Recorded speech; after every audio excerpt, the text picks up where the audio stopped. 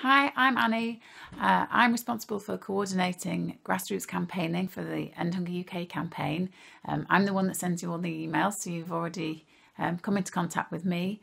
Um, I'm down in London today at the Trust offices, and we're having uh, one of our first End Hunger UK coordinating team meetings.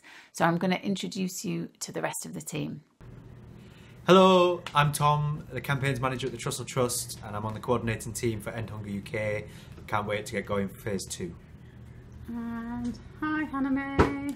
Hi, I'm Hannah May. I am the End Hunger UK campaigns manager. I work for Oxfam, and I'm really, really hopeful about um, the work that we're going to be doing in phase two. Thank you. And last but not least, Neil. Hi, I'm Neil. I'm Director of Church Action on Poverty and chairing Hunger UK, and really convinced that we're going to make a big difference over the next uh, phase of the campaign.